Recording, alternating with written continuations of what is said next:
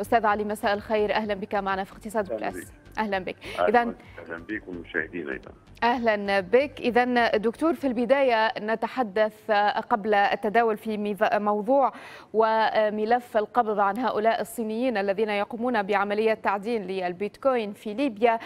هل أنت مع قرار البنك المركزي أو مصرف ليبيا المركزي بمنع تداول العملات الافتراضية أو العملات المشفره في ليبيا. أم أنت مع تقنين هذه العملات أو تقنين التداول بها في ليبيا؟ آه في البداية أنا مع الجانبين. اولا مع القرار الخاص بمصرف ليبيا المركزي لأن هذه العملات آه لا يوجد لها القاعدة الرسمية حتى في العالم الخارجي.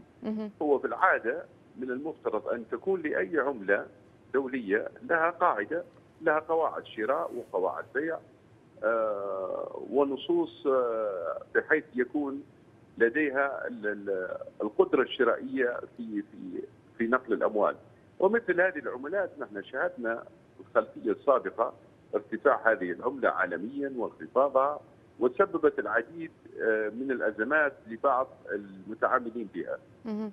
فإن الحديث الآن على أن الاقتصاد الليبي عندما يكون هناك مثل هذا الشيء موجود في ليبيا من العملات الرقمية وجاءت أصلا في ليبيا ليست لوفرة شيء ما إنما هو لرخص التكلفة في في في صناعة هذه العملة وتعدين هذه العملة. نعم.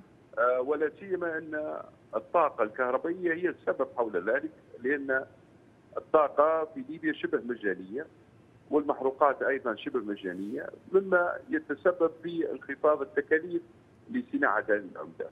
فاذا آه اولا آه لابد ان نقول إن مصرف ليبيا المركزي مثل هذه الإجراءات إجراءات متخذه صحيحة.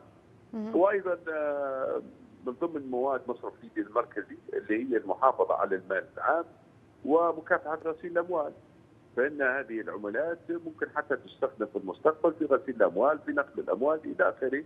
نحن شاهدنا أن العالم الخارجي في المؤشرات إن ليبيا أو الاقتصاد الليبي أكبر مؤشرات التعدين لصناعة هذه العملة وليس هناك دخل لهذه البلد من هذه العملة. فعندي جانبين، الجانب الأول هو يخص القرار، الجانب الثاني ما مدى استفادة الاقتصاد الليبي من صناعة هذه العملات؟ اذا كانت صناعة هذه العملات هي فائده فعلى الاقتصاد الليبي أن يفرض ضريبه معينة لصناعة هذه وإصدار التراخيص اللازمه لاصدارها وتعدينها مثل مثل أي سلعة أخرى يعملها مثل السلع وليس مثل العملات. نعم. طيب آه نعم، طيب دكتور حضرتك قلت أن آه انخفاض تكلفة تعدين البيتكوين أو العملات المشفرة بصفة عامة هي ما جعلت هؤلاء الصينيين مثلا الذين نعم. تم القبض عليهم مؤخرا يقومون بهذا في ليبيا، يعني هل يمكن القول اليوم أن آه هناك أرضية خصبة لتعديل العملات المشفرة في ليبيا؟ طبعا زي ما قلت لحضرتك هو هي لو افترضنا إن هذه العملة صناعة ويمكن الاستفادة منها معناها ممكن نحن نديروا إجراء معين ونضبطوه ونستفيدوا منها كاقتصاد الليبي لأن هي تساهم مثلا في زيادة الناتج اللي كان عليها الطلب العالمي بهذا الشكل و و و ومخزونة بهذا الشكل.